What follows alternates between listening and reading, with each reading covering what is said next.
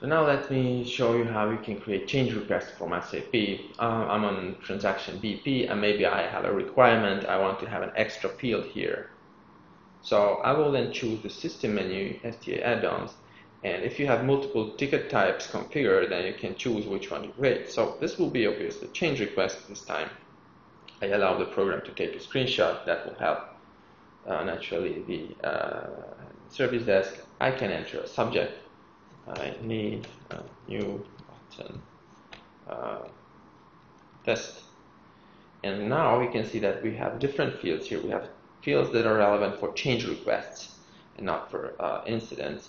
Um, obviously, you can put any um, extra fields here uh, that you might have. For instance, you can put the uh, change types if it's a normal change or an emergency change, and so on.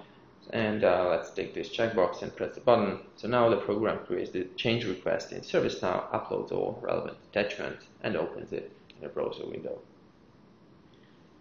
It's pretty fast. Here you ha have uh, the change uh, displayed in the portal, but let's now jump into the system with another user and um, here we go. This is the change that we've just created.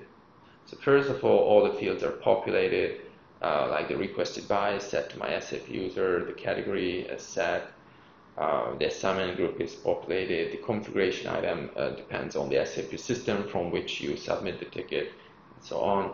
Naturally, the drop-down values and text fields contain uh, whatever the user is entering.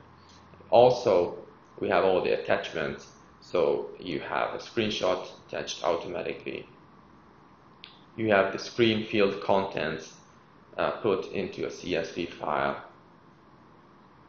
So these, these were displayed on the uh, screen. And uh, let's check uh, here be, uh, below we have SAP technical details uh, saved to the change. and if you click on that, you get all different kind of information on the, the currently running program, uh, application component, title, and so on, um, SAP server information, uh, user information. Uh, here we have all the SAP screen fields that were displayed on uh, the screen, the call stack, the, so that means the program flow, uh, and so on.